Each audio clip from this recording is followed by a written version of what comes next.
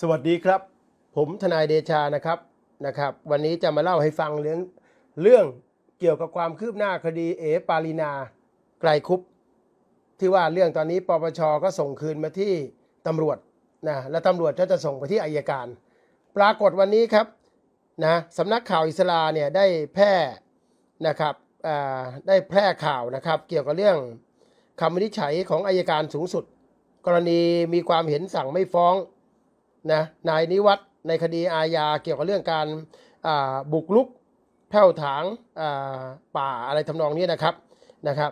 โดยในคดีนั้นนะครับอายการสูงสุดนะครับได้บอกว่านะครับมีคำนิจฉัยว่านะครับดังนั้นย่อมเป็นเหตุให้ผู้ต้องหาเชื่อโดยสุจริตว่าตนเป็นผู้มีสิทธิ์ครอบครองในที่ดินแปลงที่เกิดเหตุ โดยชอบด้วยกฎหมาย มีสิทธิ์เข้ากระทำการใดลงในที่ดิน ส่วนสคหนึ่งจะชอบด้วยกฎหมาย หรือไม่นั้นเป็นเรื่องที่เจ้าพนักงานผู้เกี่ยวข้อง จะกระทำการตรวจสอบต่อไป คดีมีพยานหลักฐานไม่พอ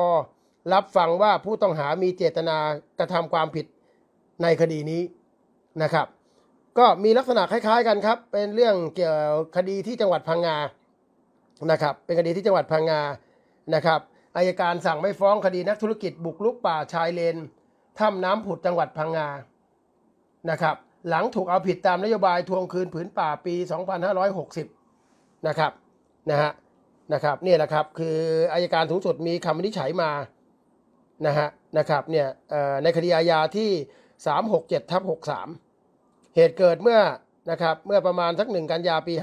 52 นะครับ ก็ไปลักษณะเป็นซื้อที่ต่อเข้ามา นะครับนะฮะแล้วก็เสร็จแล้วก็มาขอออกโฉนดอะไรทำนองนั้นนะครับนะครับเนี่ยนะครับอันนี้อันนี้อันนี้นะครับก็ดูนะครับเป็นเป็นอุทาหรณ์นะครับนะในว่าเป็นการกระทำโดยขาดเจตนา เพราะฉะนั้นคดีของเอปารินาเนี่ยผมดูแล้วเขาก็สู้ตามคำวินิจฉัยอัยการสูงสุดอันนี้นะครับที่เผยแพร่วันนี้ เพราะฉะนั้นดูไปดูมาแล้วคดีเอ ปารีนาอาจไปไม่ถึงศาลในความเห็นส่วนตัวนะ ถ้าเทียบเคียงกับคำวินิจฉัยของอายการสูงสุดนะครับ ตามที่ผมกราบเรียนนะครับ ถ้าใครอยากอยากรู้รายละเอียดก็ลองเข้าไปที่สำนักข่าวอิสลานะครับนะผมก็แชร์มาที่ Facebook